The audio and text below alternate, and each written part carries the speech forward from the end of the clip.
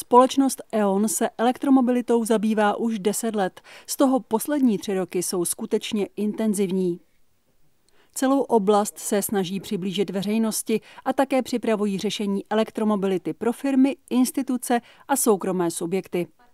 Tou nejviditelnější aktivitou je výstavba a provoz dobíjecích stanic pro veřejnost. V rámci celé České republiky se bavíme zhruba o 500 stanicích.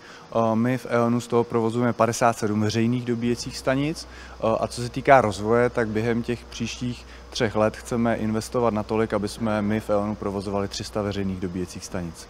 Společnost E.ON získala pro tento záměr podporu přímo z Evropské unie v rámci mezinárodních projektů a dále z operačního programu Doprava. Naše společnost tím, že má své distribuční území v Jižních Čechách, tak Jižní Čechy jsou pro nás prioritou. Dlouho byly opomíjené, to se teď určitě chceme snažit napravit. Ten rozvoj bude takový, že určitě v těch dvou letech následujících chceme postavit zhruba 50 stanic v jeho českém kraji. Můžeme na mátku zmínit lokality, kterých se to bude týkat v první vlně, to znamená v tomto roce chceme postavit eh, stanici Frimburg, Kaplice, Lipno nad Vltavou, Hluboká nad Vltavou, České Budějovice, Český Krumlov, Blatná. Je toho poměrně dost, takže myslím, že se mají uživatelé na co těšit. Aktuálně je nejvytíženější veřejnou dobíjecí stanicí na jihu Čech, ta u Globusu v Českých Budějovicích. Načerpat energii do svého vozu můžete také přímo u sídla společnosti E.ON v krajském městě. Mapu stanic, ceník služeb nebo registraci do systému E.ON Drive můžete najít na webu společnosti.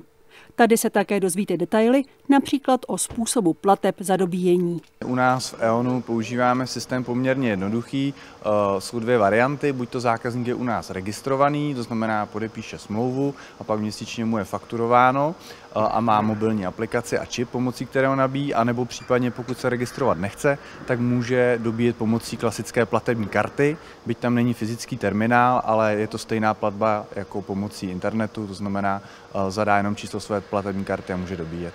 Ekonomicky je provoz elektromobilu nejoptimálnější, pokud jeho majitel kombinuje nabíjení doma s dobíjením z veřejných stanic na delších cestách. Při cestování jde ovšem také o čas.